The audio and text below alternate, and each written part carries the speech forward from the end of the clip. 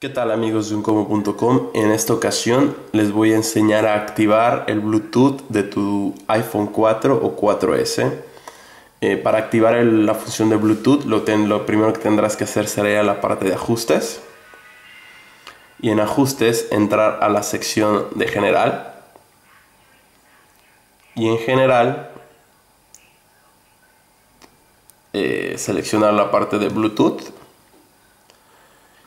y en este caso, por ejemplo, yo lo tengo activado, pero en caso de que quisieras traerlo desactivado, solo tienes que deslizar sobre la, acción, la, sobre el botón de, encendido y si lo ves, incluso no me aparece el, icono en la parte superior de que tengo activado el Bluetooth, porque cuando lo activas,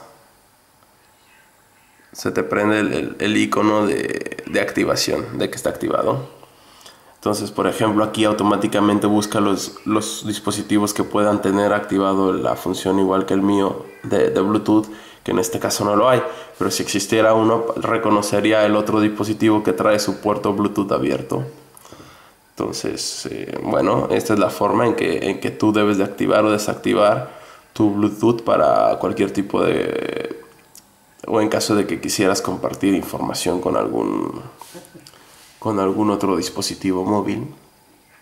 No olviden suscribirse a nuestro canal de un Como y darle like si en verdad le están gustando estos videos y pasarlo a la gente que crean conveniente o que crean que estos videos les pueden ser útiles. Nos vemos en el siguiente video. Hasta la próxima.